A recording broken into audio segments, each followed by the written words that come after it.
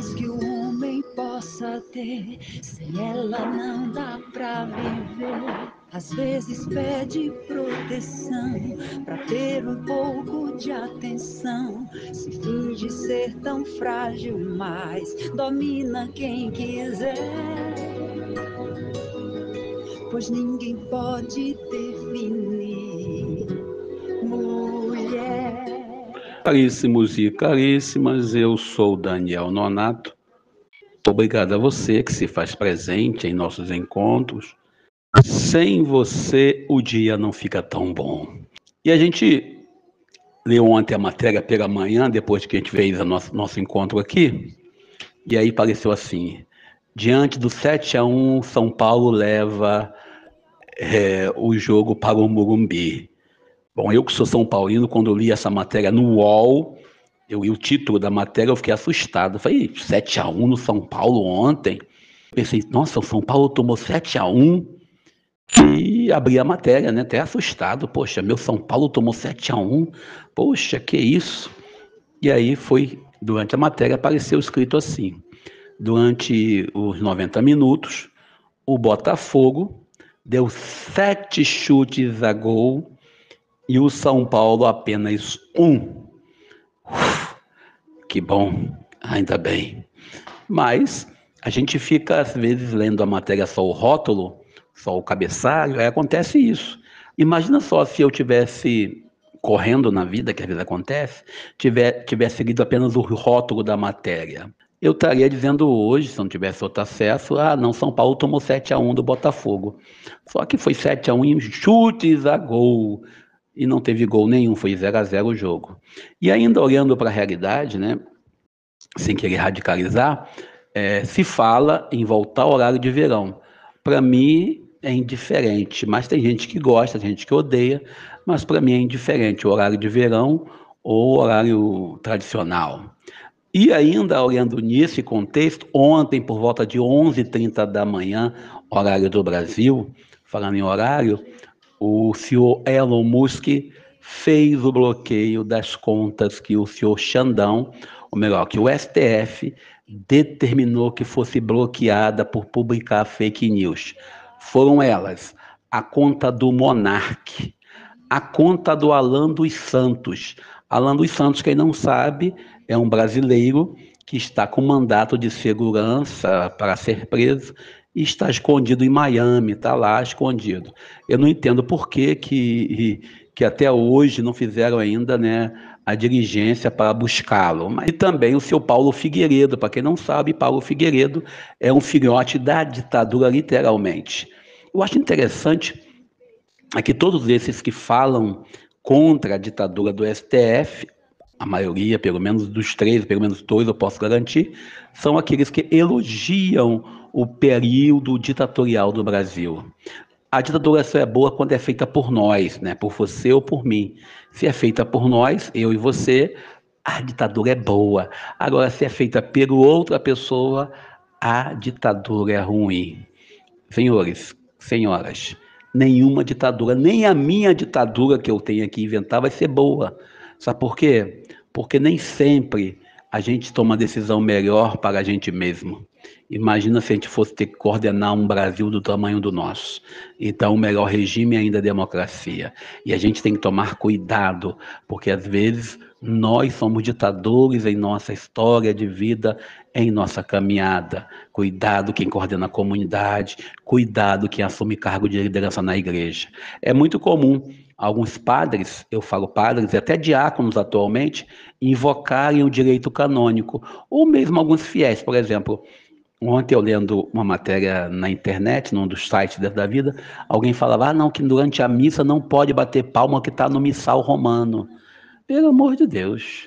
Vamos contextualizar. Aí o outro bota, ah, não pode ter imagem, está na Bíblia que não pode ter imagem, lá em Êxodo capítulo 20. Você tira de um contexto, ou pega o texto, isola em si mesmo e acaba cometendo uma ditadura, cometendo um erro que não vale nem a pena comentar. E vamos nós para o Evangelho do dia. O evangelho de hoje é a continuação do texto de Lucas, no seu capítulo 8. Saímos do capítulo 7 ontem, vamos ao capítulo 8, versículo 1 ao 3 de São Lucas. Hoje, Jesus traz o retrato da sua comunidade feminina. Lucas, quando apresenta esse texto aqui, ele tenta deixar bem claro que no, no reino de Deus, no projeto de Jesus de Nazaré, tem espaço para as mulheres como em destaque. Porque é muito comum a gente, às vezes, eu falo a gente porque nós homens somos, somos um bando sem vergonha, nós queremos a mulher somente para o serviço. Por exemplo, a vice-candidata a prefeita do Pablo Massal disse que a mulher tem que estar bem de saúde para poder cuidar da casa. Aqui no Evangelho, Jesus, Jesus já rompe com essa ideia de cuidar da casa. As mulheres aqui têm direito a serem discípulas. E nós sabemos claramente que, historicamente, a única pessoa que podia ser discípulo eram os homens. E, ou seja, aqui Jesus fala, não, ela também tinham direito a serem discípula.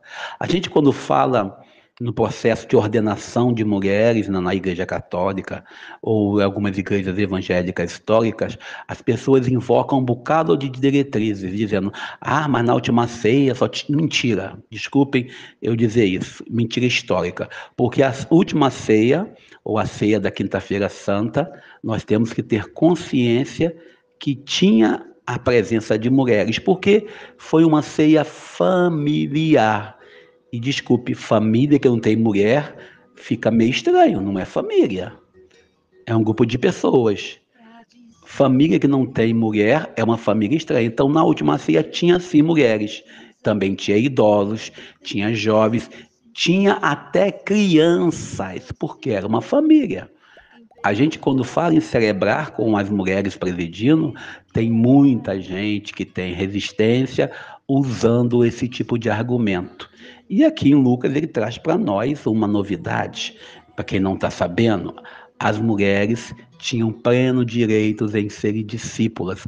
E esse texto de hoje, logo após o de ontem, que foi é Jesus ter os, os pés né, é ungidos, lavado pelas mulheres, é um texto que lá em João capítulo 12, ele não aparece. Logo depois de João capítulo 12, Jesus vai para o templo e, e, e cria, e cria um, um conflito. Enquanto Enquanto aqui, em Lucas, não, ele vai contar que também tinha mulheres na sua comunidade, na sua prática de vida. E nós temos que olhar que nesse tempo onde vivemos o setembro amarelo, que as mulheres, por serem mais sensíveis à emoção, são as que mais sofrem com preconceito, e isso vai gerar depressão e vai gerar uma série de doenças. E aí você vai ter aí um número de pessoas, de mulheres que cometem suicídio devido à violência, é um número muito grande. E nós devemos valorizar nossas mulheres, nossas mães, nossas filhas. E aí no cursilho de cristandade, a gente tem uma palestra dizendo nossas Marias. E aqui aparece Maria Madalena, que a gente sempre diz que é a prostituta, Maria Madalena, que a gente sempre diz que ela é, é a mulher adúltera, então, na verdade, Maria Madalena é discípula, e como diz o, o, o, autor sagrado, ela está no meio de um montão de mulheres que também seguem Jesus. E vamos ficar por aqui, celebrando o dia de hoje, pedindo a Deus nos abençoe, nos ajude, para que possamos, nós homens, respeitarmos todos os direitos das mulheres. Deus nos abençoe e nos ajude. Eu sou Daniel Nonato.